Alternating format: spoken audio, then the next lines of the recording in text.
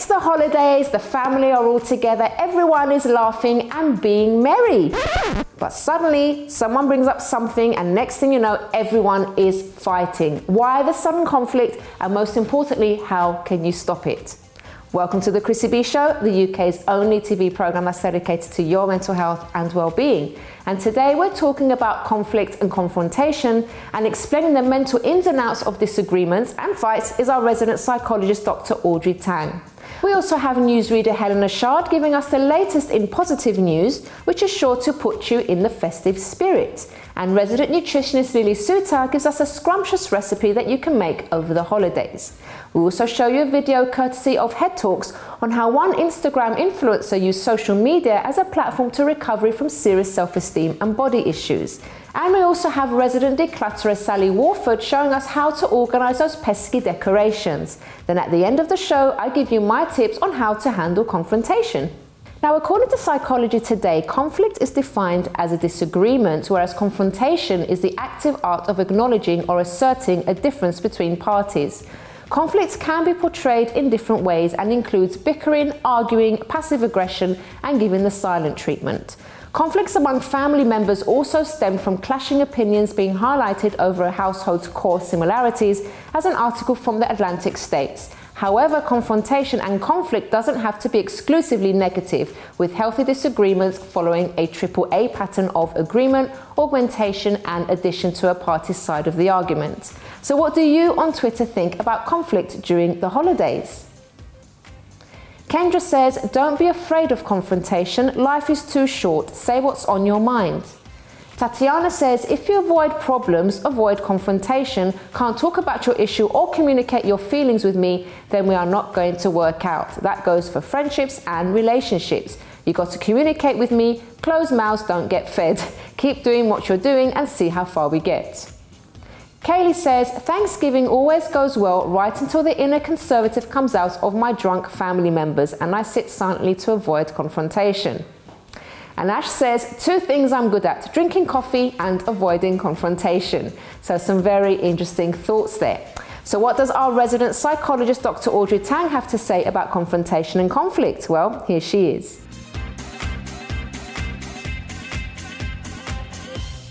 Welcome to the show, Audrey. Thanks for having me, Chrissy. So tell us, what actually happens to us mentally when we face confrontation and conflict? It's as much a physiological reaction as it is a psychological, and a lot of the physiology affects the psychology. So what tends to happen is it's a similar response to the fear response.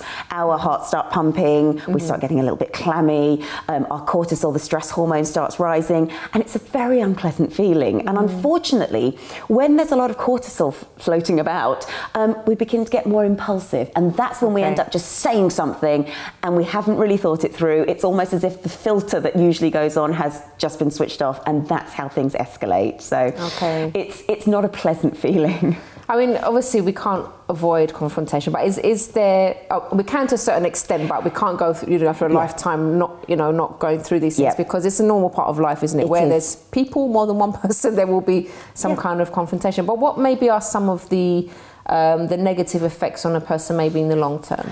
if we don't actually confront whatever it is that's been troubling us, mm-hmm. um, the best example comes from a piece of research on tree shrews. Now, what these little animals do is they're very territorial and mm-hmm. they will fight to the death over a bit of territory.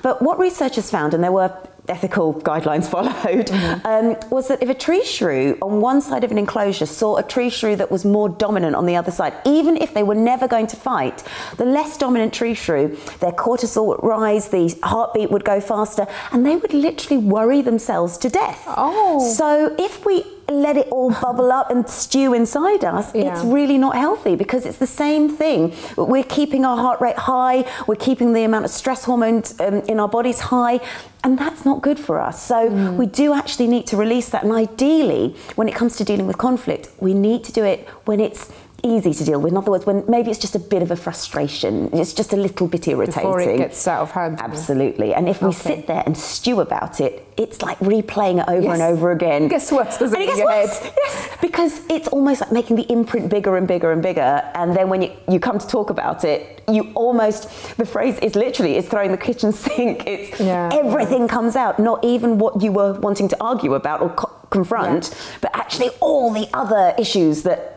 caused problems before unfortunately come out and then it's hard to resolve things because it's got so emotional Mm-hmm. Okay. so it is really important to start doing it when it's a frustration So, Audrey, when can conflict and confrontation actually be a good thing? actually when it starts to broaden your horizons a little bit more because if we only rely on our own mindset we, we're not actually s- learning anything new we're not actually gaining new information. So if we confront something even though one of the fears of confrontation is a fear of failure in other words a fear of us looking bad or us being Yeah. wrong we still might learn something new and that can be quite important. Also if you think something and someone else thinks something else then maybe there's a collaboration that can be brought together. You Yeah. can learn something from them they can learn something from you and you can move forward together.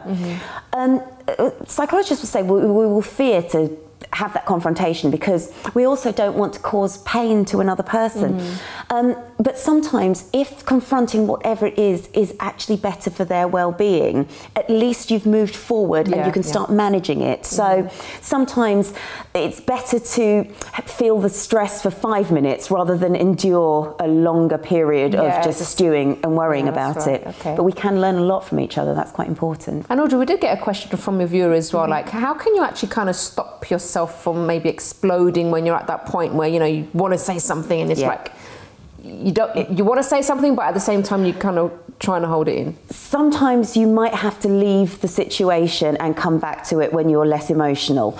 But if you are going to walk out, away from the situation, it's best to say to somebody, I really can't talk about this right now, but I am going to come back and I am going to talk about it in, say, two hours' time. Because if you just walk out, Yeah. then that person doesn't know whether you're coming back, what's happening. Or runs after you and makes the situation Exactly. worse. Yeah. So sometimes it's walking away from it. But then it may be a case of writing down your thoughts and being aware of, right, I feel this, I think this, I must talk about these things.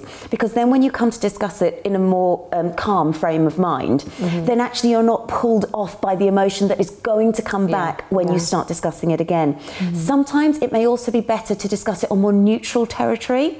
Um, the debate over this as to whether you do this in a public place because the idea is if you're in a public place you're more likely to keep it a bit more uh, uh, quieter shall we say a little bit more civil but then again that can be even more frustrating but if the conflict is say um, a, a, teacher and a student for example Yeah. One of the less safe places that the student will feel is, is in the teacher's office because it's the teacher's territory, it's the teacher's Okay, area. So having it in the canteen or mm-hmm. somewhere a bit more neutral may help. So same thing.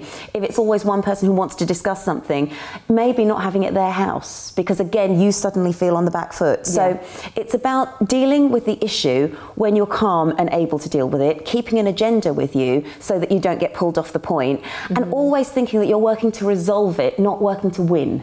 Because once you're talking about winning, then you're also talking about losing. You're not talking about collaborating and actually moving forward together. Love that. I think we're going to end it on that, Audrey. Thank you so much, Pleasure. and we'll see you again next week. Yes. Thank you. All right, everybody. Now, are you feeling a little bit blue? Well, here's Helena Shah to perk you up with some cheery good news that's sure to lift your spirits.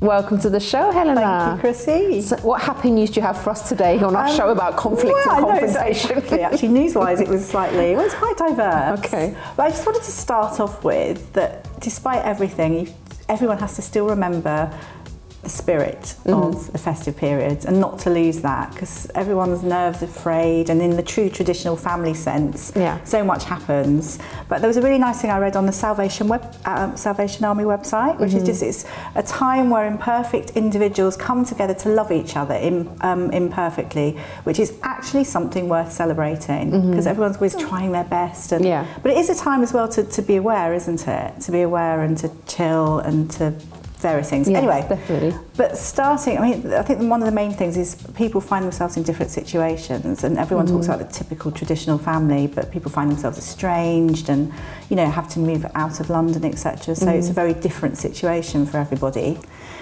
And also something quite sweet. So obviously we've got again traditional family and various things going on, but there's lots of people in the military that don't have a festive time. Mm-hmm. And it was a lovely story about uh, military sons um, were telling their pa- their mum that a lot of people don't get care packages because she was used to send them uh, presents. Okay. And lots of the people around them didn't get it, so they felt quite bad. Anyway, so she set up a charity called Support the Troops, and uh, in fact has sent her 10,000th package Wow. of. And the most recent ones have all been Christmas bundles of Yeah, loveliness, and it's just, you know, obviously that they're so thankful, and it's just cheered everyone up. Yeah. for Christmas. It's really nice. Isn't that imagine how lonely you must feel with being away from friends and family? They're not getting anything as well. and seeing other no, people getting seeing other things. people get it, Yeah. it makes you makes you think, um, which which is lovely. And there was actually a young boy that did it as well, Mm-hmm. um, who raised two thousand pounds, and it was because he saw his brother as well, and he said the same thing. But it's it's just a, a really nice thing. It's again, it's giving, isn't it? What's it's what it's all about is trying to give Mm-hmm. Yeah. give back or help people that are maybe Not just want, want, want for yourself, right? Absolutely. Um, another sweet story, in fact, I'm going to, um, yes, did you ever have a pen pal when you were younger? Did I? I can't remember. I think I might have done, but it was like well, probably when I was really Did small. you? But I can't remember Can't what it was. remember I can it. vaguely I, remember sort of something. Do. I remember yeah. writing letters to a friend in France and Yeah. going over there, and it was really good fun. But this is just something very simple. that Obviously, you know, we've got the modern the Mm-hmm. Twitter and Instagram, all the rest of it, so the young can join in. But obviously, if you're elderly, you haven't got that kind of Yeah. support.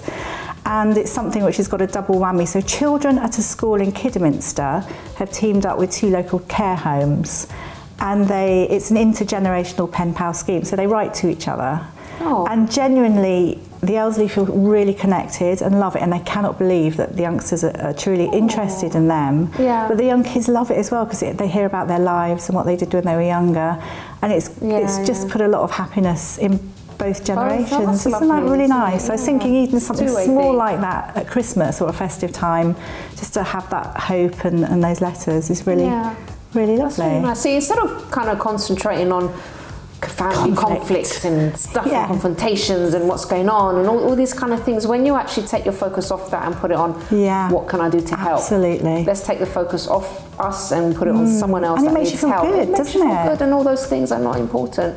Absolutely. Thank you. Helena, for that lovely Thank news. you, Chrissy. And we shall see you again next week. Absolutely. Well, everyone, don't go away because after the break, we show you a video courtesy of Head Talks on how one Instagrammer used social media to overcome her mental health issues. But first, how many times a year do couples bicker? Is it A, 1,455, B, 2,455, or C, 3,455? Do you think you know the answer? Find out if you're correct after this break.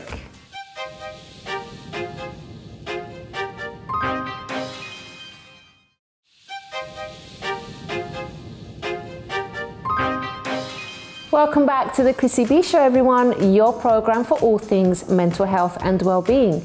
Now, before the break, we asked you how many times a year do couples bicker? Is it A, 1,455, B, 2,455, or C, 3,455? The answer is B. According to the Daily Mail, couples bicker an average of 2,455 times a year, with money issues, laziness, and not listening being the top conflicts for couples.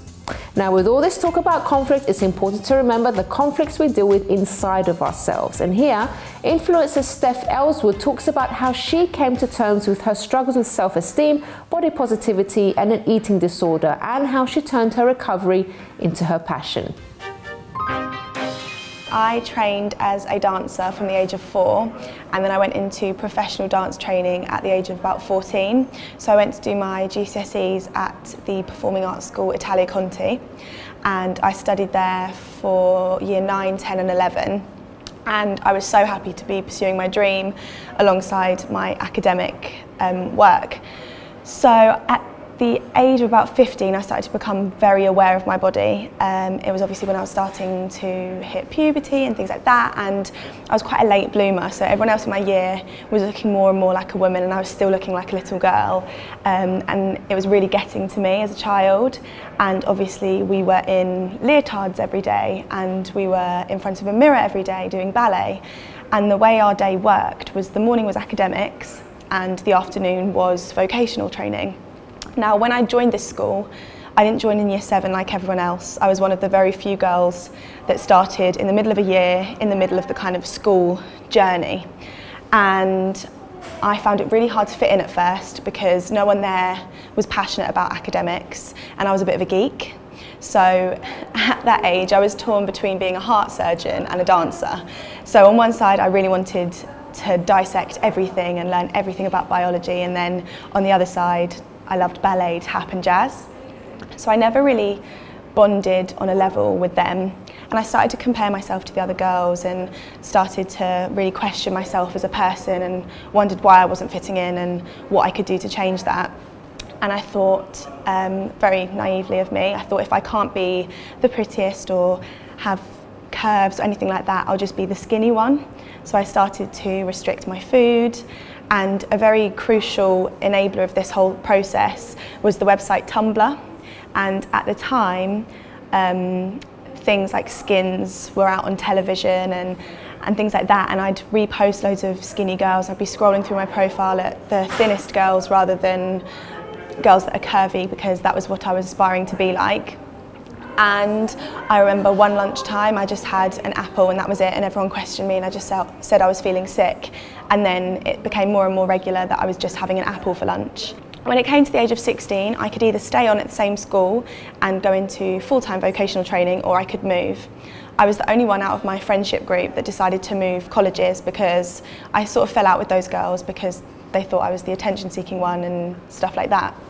So I auditioned for a few of them um, and also applied for my A levels because I wasn't sure if I was talented enough to get into a full-time vocational college. And I went to the Urdang Academy in Islington. And this is one of my biggest dreams. I used to watch their videos on YouTube. Um, it's more commercial dance, so backing dancing for videos and things like that. And it was my passion to do that. So I remember when I started, I was one of the youngest in my year because you can either do the degree course where you start at 18 um, after you've done your A-levels or you can be accepted at 16 and do a diploma course. I was on the diploma course and there were still girls that were 25, 26 in my year, like a decade older than me. And I was so excited for a fresh start, to start something new, meet new people. No one from my previous school was going there, so it was a totally fresh slate. And first year was amazing and I loved it and I threw myself into everything. I still had low confidence, but I think that was an age thing at the time that I didn't really realise. And then in my second year, I started to struggle more because we were put into tracks and there was track A, which was the musical theatre track, track B, which was the dance track, track C, which was the singing acting track, and then track D, which was the commercial track. And I was put into classes with the best dancers in my year, the strongest, most flexible, best at performing and I really started to question my worth again and I lost so much confidence because I couldn't kick my legs as high as them or things like that. So again, I fell into the trap of wanting to be the skinny one and I was really struggling. My skin was grey, I looked ill all the time, my hair was thinning, I had no energy, I couldn't get through a day without having a panic attack because I was so anxious all the time. I had no confidence, I was absolutely tiny, my clothes were falling off me. And then it wasn't until um, I had a really bad panic attack in one of my jazz classes that the head of dance pulled me to one side and said that they were all, the, all the staff and the faculty were worried about me. I went home to my mum and told her the situation and how I thought food was the enemy, how I wanted to be the skinniest I could and how I didn't know how to stop and get out of this vicious cycle. So my mum obviously panicked again and then got upset because she didn't notice it and she took me to my GP who referred me to this amazing um, hospital called the Maudsley Hospital which is in Denmark Hill. And I went there once a week for an hour to see my angel. So I called her my angel because I didn't want to tell anyone what I was doing. And I just went and spoke to her um, once a week about my problems. She gave me ways to um, ways to make myself better. So little tips to make me aware of when I was being negative to myself or kind of body checking. So I used to, I wouldn't be able to walk past a mirror without pinching my fat or seeing how much fat was on me. And she kind of made me aware of that so that I could stop myself before I did it. And I was with her for a year and then it started going from once a week to once a month. And I became more and more passionate about food and I found my love for it again and I started to get really inventive with my cooking. And I was so proud of what I was making, I started taking photos, photos of it and posting it on my personal Instagram. And at the time, I was still living that uni lifestyle when everyone was going out and eating pizza. So they didn't care that I was eating this amazing quinoa salad with avocado on the side. And they started commenting like, Steph, we don't care about your lunch, like go away. So I started this um, Instagram in private and I used to always refer to myself as Chef Steph. I'd post these meals that I created because I was so proud of them and it was a way for my mum to see that I was getting excited about food again, it wasn't the enemy. And I started posting more and more and more and I started to tag brands and my following started to grow. It was really slow to start with but I, I loved it and it was something that I did three times a day, every day and it was a way of making me better. And I'll never forget, I think I had about 5,000 followers at the time and I got a message from Nike and I was like, this can't be real. But I saw the little blue tick and I was like, oh my God, Nike have messaged me. And they were inviting me to take me away for three days to Stockholm. And they were with um, 10 influencers that I followed, that I was inspired by, that had thousands more followers than me. But I felt so privileged to be there. And I didn't think anything of it until I was sat on the plane on the way there we landed in Stockholm and these huge influencers were there and I had the best weekend ever. And when I came back, I went to my first dance audition since graduating and I was absolutely humiliated by the casting director. He singled me out and was so nasty to me because I'd never been to his dance class. And I, I sat and I thought, why am I putting myself through an audition process where I give 100% in a room to a casting panel and they just criticise me on the way I look or the way I move or my height or things that I can't necessarily change or I can focus all my energy on this Instagram page that's starting to build a following where I'm working with brands like Nike and actually making a difference.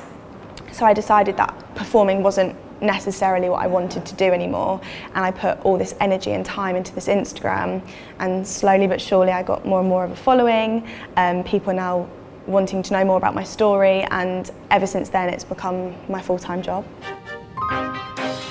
Thank you very much to Head Talks for that video. And if you'd like to know more about them, please do head over to our website, chrissybshow.tv, and click on our contributors section.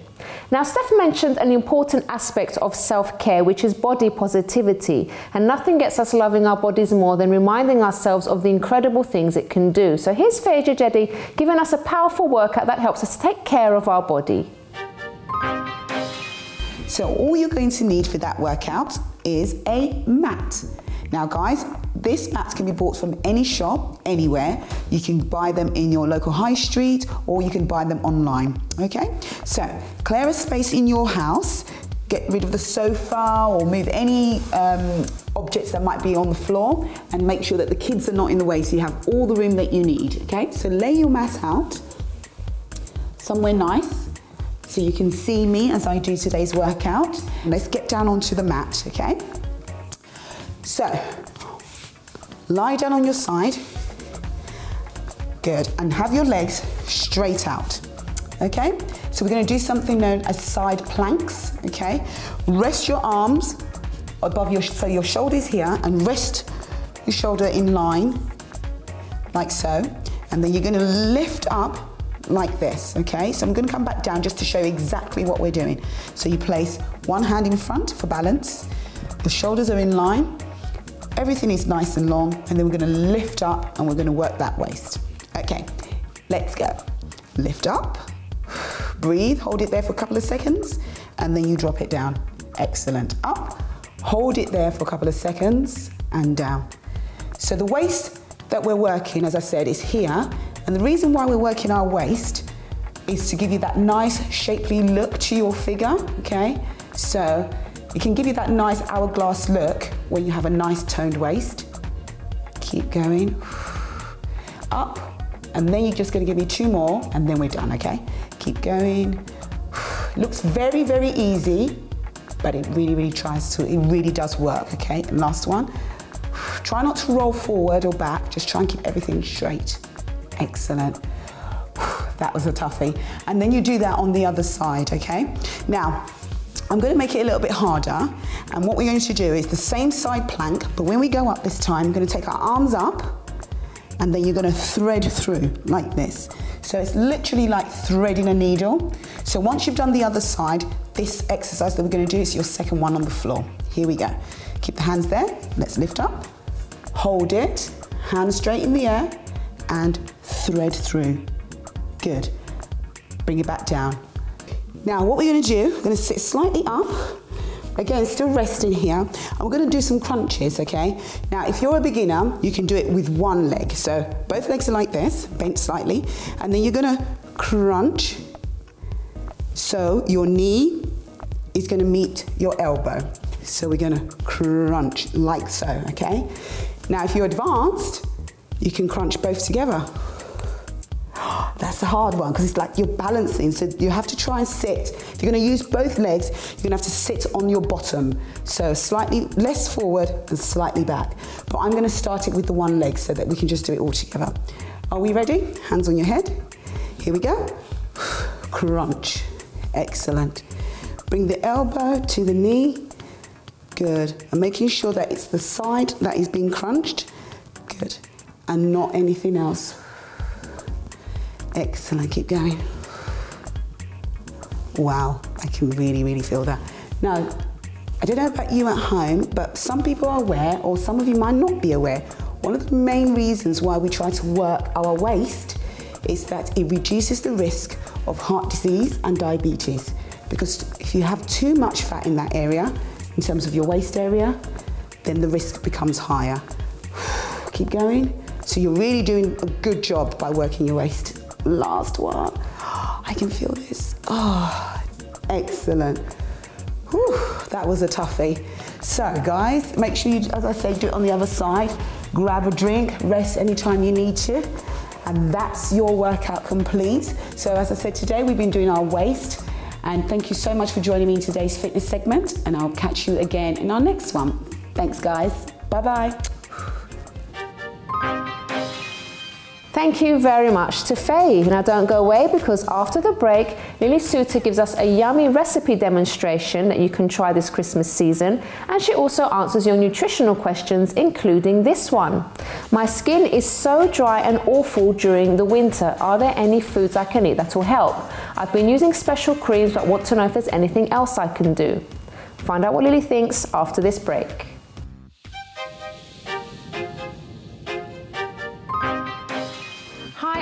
Chrissy B, and my show is all about improving your mental health and being happy.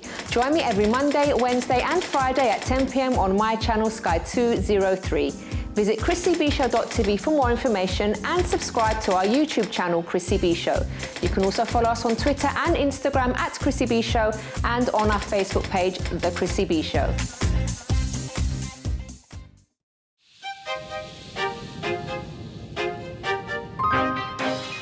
Welcome back to the Chrissy B Show, everyone, the TV program that loves to look after your mental health and well being. So now we have on the program our lovely nutritionist, Lily Soutter. Welcome to the show, Lily. Hi. How are you? Good, thank you. So you're going to be showing us another healthy, delicious, nutritious recipe, aren't you? Because just because it's a festive season, it doesn't mean we have to go crazy Absolutely. on the bad stuff. Absolutely.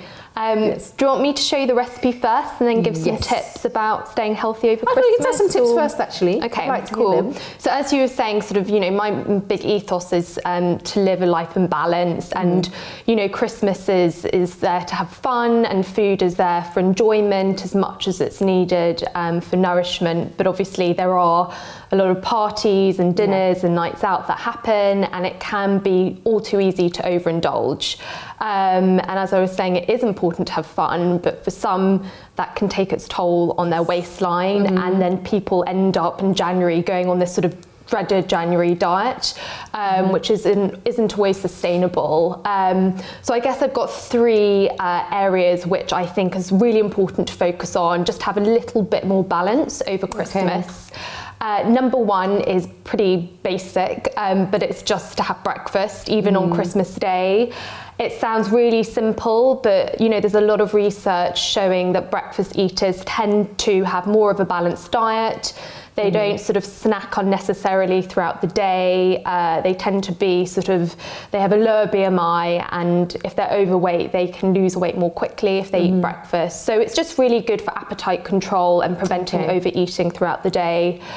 My second tip is also uh, maybe to focus on the amazing healthy foods that, that are there within the Christmas meal, um, such as turkey. It's actually really healthy. If you're going for turkey breast, it's a pretty lean meat.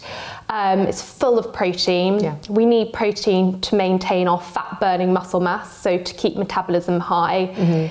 It's also very rich in a, a component called tryptophan. Um, it's probably one of the richest sources of tryptophan that you can find, and that is the precursor to our happy hormone serotonin, which is really cool. Um, obviously, the festive veg is really important and can be really tasty.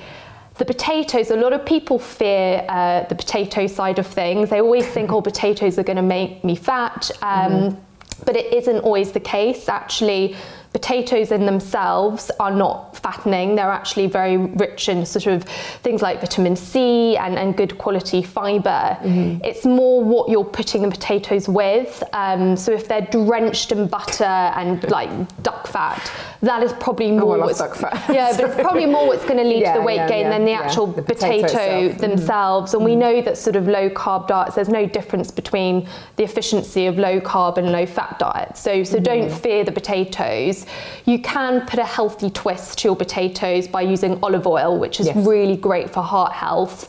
Um, and if you're not using olive oil, just be mindful of the additional butters that you're putting on your potatoes. Mm-hmm. Um, my last tip, obviously, I think it's probably one which I get asked about a lot. Um, but it comes to parties and alcohol. And, you know, as I was saying, absolutely fine to drink alcohol over the festive season. But if you find yourself drinking on consecutive nights and there are a lot of parties which are going on, it may be worthwhile just picking your drink choice slightly more wisely. Um, so, the, probably the worst offenders when it comes to alcohol are things like beer and um, wine and cocktails. They often can be around sort of 250 to 300 calories per per drink. Wow, that's a lot. Um, which is a lot, especially with the wine, because we don't we no longer get served sort of small wine glasses. Mm. We always given large glasses, and wine isn't ridiculously unhealthy. It's just the quantities. Yeah. Um, Get a bucket load, of course. Absolutely, and it's, it's even with cocktails. The average cocktail has around 25 grams of sugar, which is our max. We our maximum intake of free sugars per day, which comes from sort of caster sugars and honeys.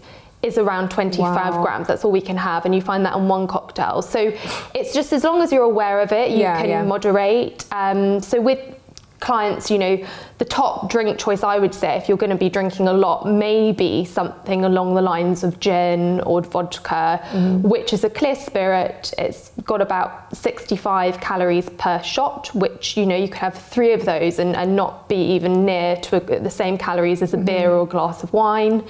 Um, and what you can mix that with is something like soda water or sparkling water with a squeeze of lemon or lime. And mm-hmm. You know, it may not be the tastiest drink, but it's very diluted, so it's less concentrated. It takes a longer time to drink. Um, and yeah, as I was saying, it's about 65 calories per glass, so you could have several of those and, and Yeah. not be hitting the calories you'd find in a cocktail.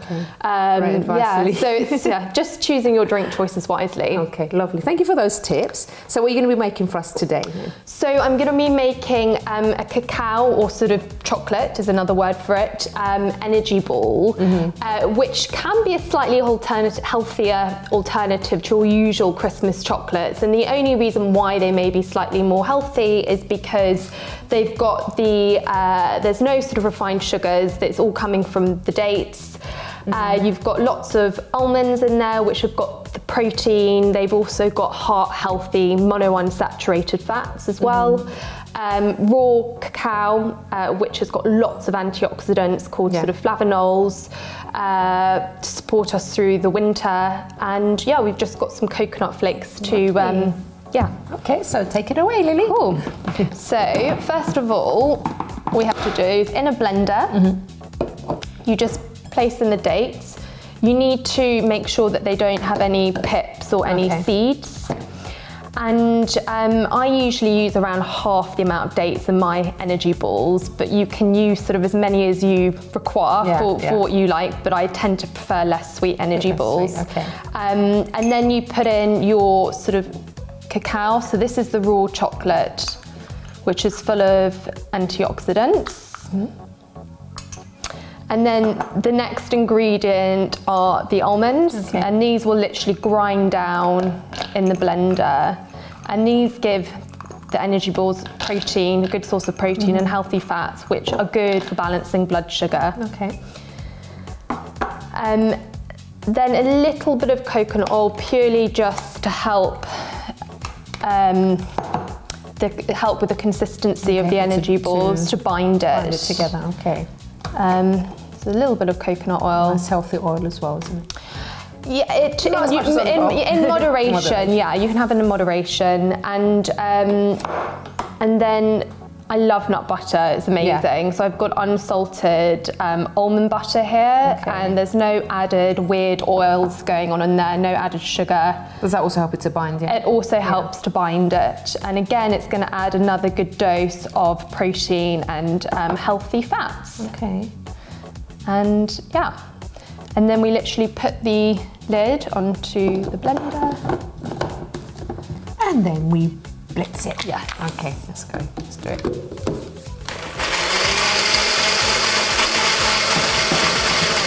Is that the right consistency? Yeah, perfect. Okay.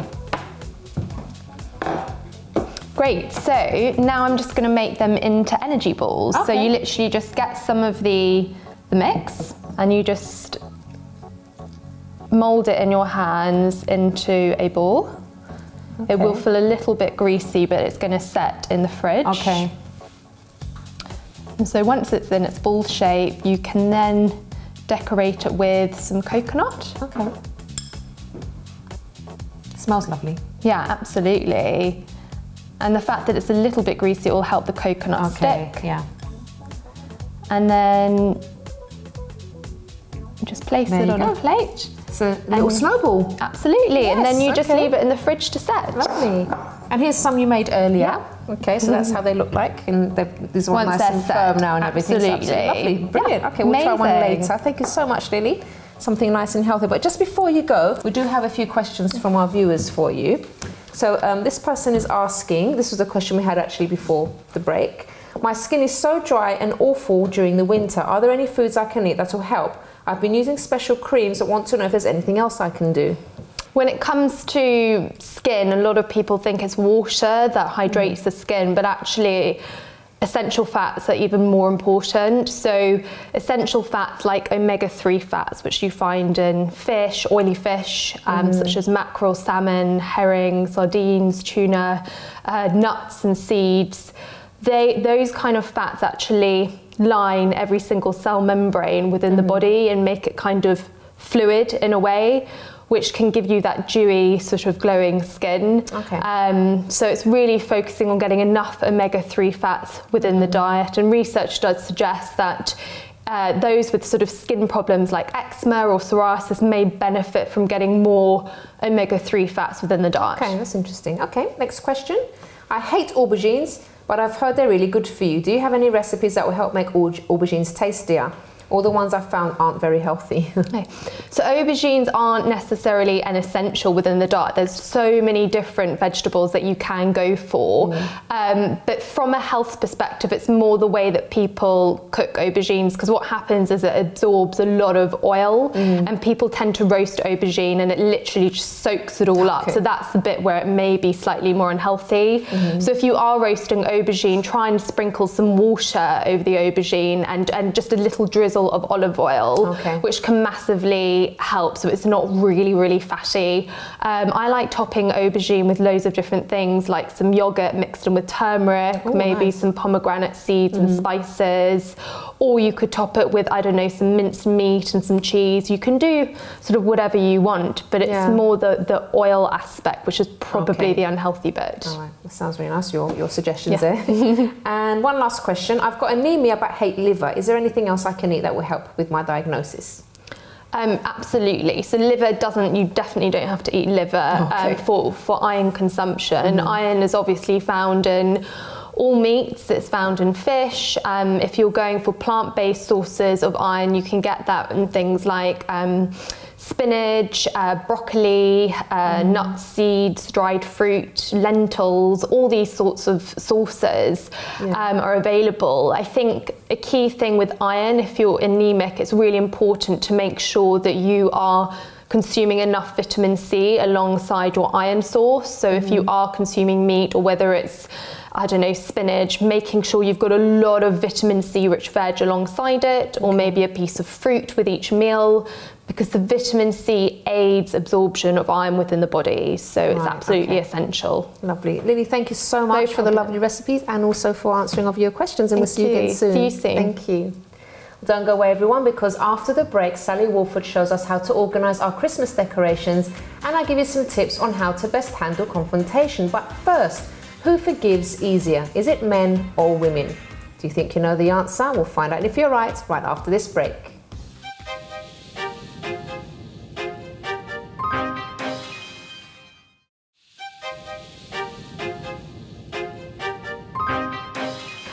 Welcome back to the Chrissy B Show, everyone, where today we've been talking all about confrontation. Now, before the break, I asked you who forgives easier? Is it men or women? The answer is actually women. According to Science Daily, men have a harder time forgiving transgressions. However, this changes significantly depending on how empathetic a man might be.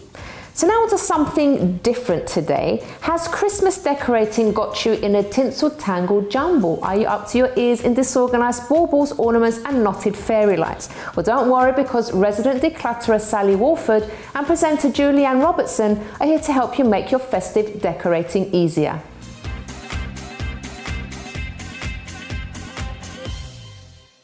Hi, my name's Sally, and I'm here with a lovely Julianne.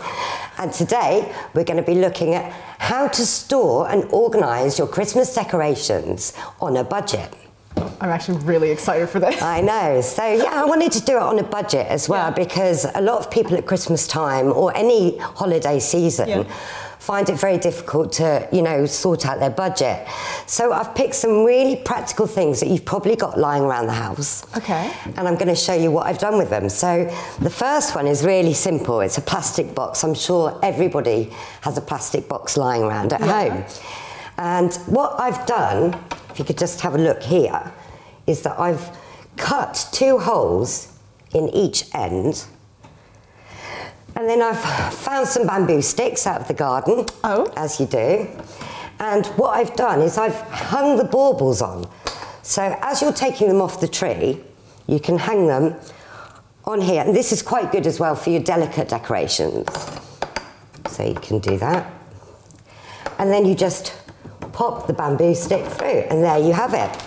That's so useful, It's Sally. great, oh isn't it? And it's also really good if you've got like glass decorations Yeah, and things like that. I'm just thinking about if you're actually putting stuff on the tree, instead of having everything lying around, hang them all up in here, and then one by one, pop them on. Exactly. This is really so that next year you're going to be fully prepared. Yeah. And also they're going to be really well protected. So you just pop the lid back on the top and pop in, pop that in your loft. exactly. Oh, Done. They're probably not going to collect any dust or anything either. Exactly. Exactly. Oh so yeah, that's my tip number one. Oh, great. Fabulous So, tip. yeah. All right. Off to a good start. So tip number two. Lights. Lights are always a bit of a nightmare, aren't they? Yeah. You get them out each year and they're all tangled, Tangled up. Exactly. Well, here you go. So get yourself a can, a can of whatever you've got Yeah. in the in the cupboards, and you wrap your fairy lights Okay. around the can. Yeah. So therefore, they will never ever be tangled again. Yeah. Da, da, da, da. And then you just pop that inside. That's amazing. And you can do it for di- uh, each different kind of fairy light. You can even organize it by color if you're really Exactly, into it. Exactly, one of my favourite things actually. So yeah, I'm going to show you some colour coordination. Guys. But that really works really well, and it's great. Never ever a tangled light again. Yeah. Do you like the musical fairy lights? I love musical fairy lights. Yeah, I- yeah. I I love love, everything about Christmas. It's, It's just brilliant, It's isn't nice it? and festive. You're like, oh, okay. What's next? What's going on? Okay, so I always think um, in organising that not every system works exactly for everybody. So Yeah. I'm going to show you a couple of ways of storing the baubles again. Okay. So for example, mean, this is easy peasy. So everybody's got some eggs, I think, in they there. do- So let's have a look. That's so smart. All your Literally- little tiny baubles, Yeah. just pop them in as if they were like eggs. There we go. And then what you can do with those Yeah. is put them like that And stick them on the box. there. Okay, so we're also, Yeah. You know, op- optimizing on our storage space as yeah. well. Like you can stick your smaller ones in there, and then your larger ones, Larger like, ones along along the there. stick. That's so smart. And don't forget, you can get deeper plastic boxes as well. Yeah. So you know, if you've got longer decorations, you can always adjust this idea. For yeah, those. and promotes the you know eggs are good for you. Yes, Get- eggs are gets good you for you. your eggs. Yeah, absolutely. so what about the boxes in here? So the other way of storing your baubles is um, to do it in colour. A lot of people um, find that a lot easier. So you might have one uh, ring of uh, The tree. The, the tree being silver and then red. Yeah. So as you take them down, pack them away Yeah. in the order that you've done your Christmas tree, Yeah. and then just label them.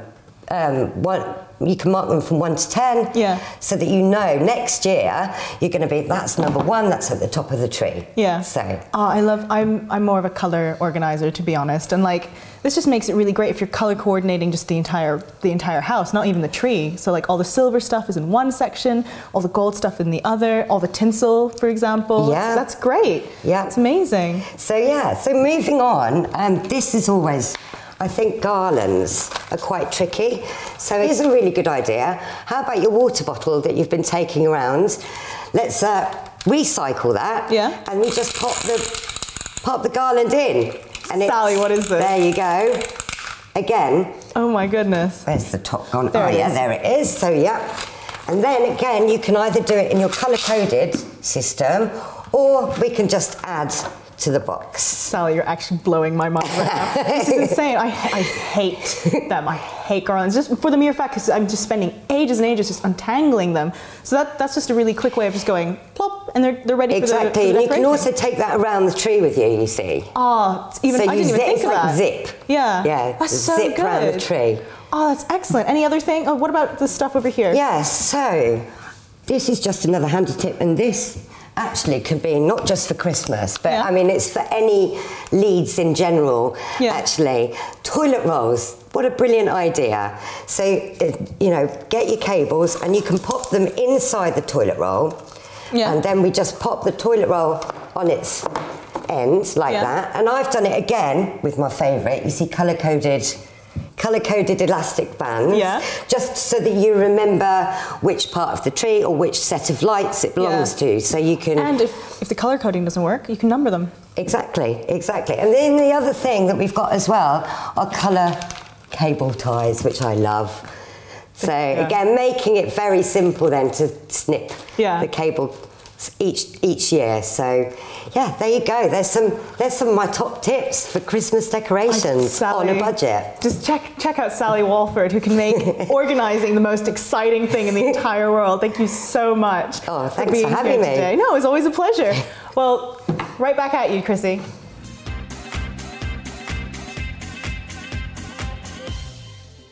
Thank you very much, ladies. So now it's time for my tips on how to handle conflict. So the very first one that I would say is don't raise your voice. Now, there is nothing um, worse than actually raising your voice.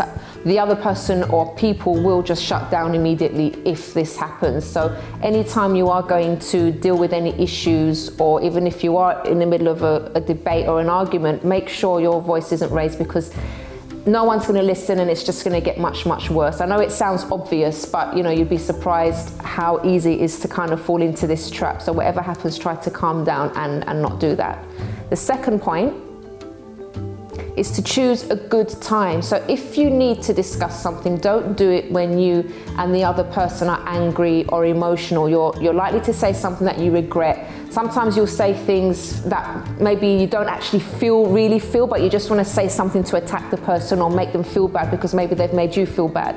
So it's best to actually make sure that it's a good time where you've both calmed down. I wouldn't say leave it too long either because then other, other issues can crop up. But as soon as you know you both or the group is calmed down or both calmed down, then it's a good time to discuss things.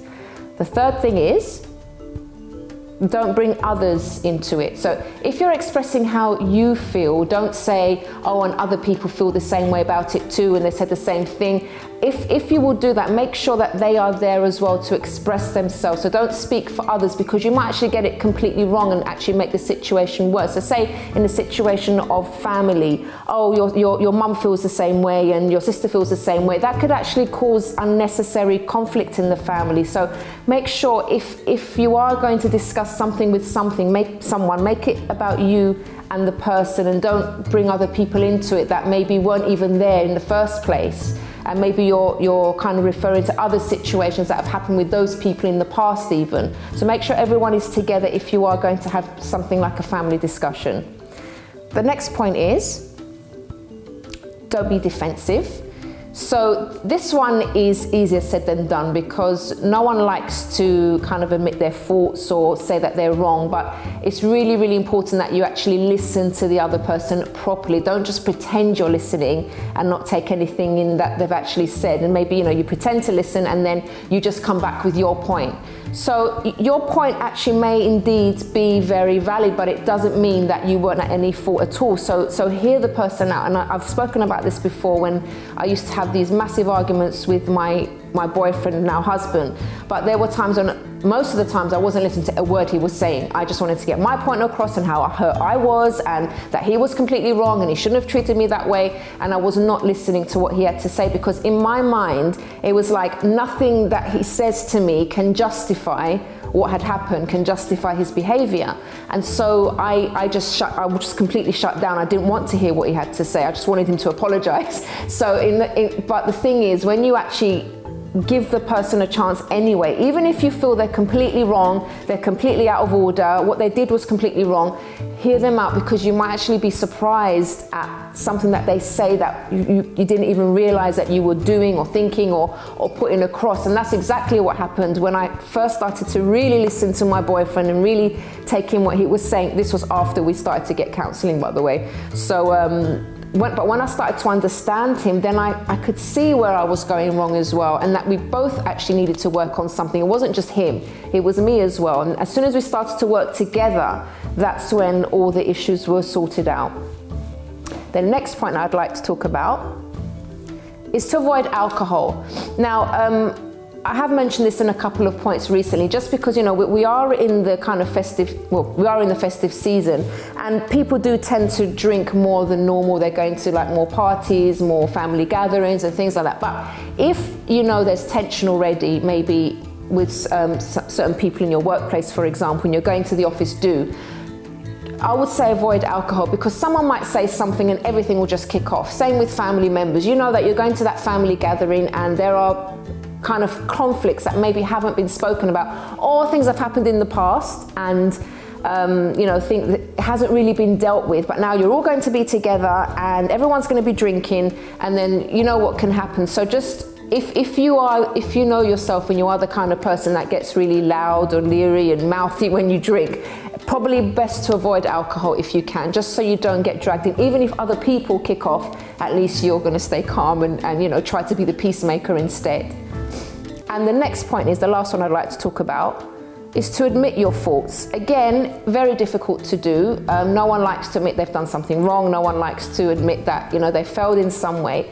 However, when you do, and I think this one especially in, in relationships, when you admit your faults to the other person, it makes the other person as well more likely to admit their faults, and that's when you can really start communication going and sorting issues out that you may have. It's, I think it's really, really important. Well, everyone, I hope that's helped you. And if you have a story that you would like to share, please do email us on info at chrissybshow.tv. You can also tweet us at Chrissy B Show or leave a message on our Facebook page, The Chrissy B Show. And if you'd like to know more about me and my mental health journey, you can visit my personal website, which is mylifeafterdepression.com. Until next time, bye bye for now. Conflict is defined as a disagreement, whereas confrontation. Oh, it's moving, Julia. Okay. So it is really important to start doing it when it's a frustration Okay. rather than before it Great escalates. advice there. And I forgot my question. Hang on. It'll come back. Well, everyone, don't go away because after the break, we show you a video courtesy of Head Talks on how one Instagram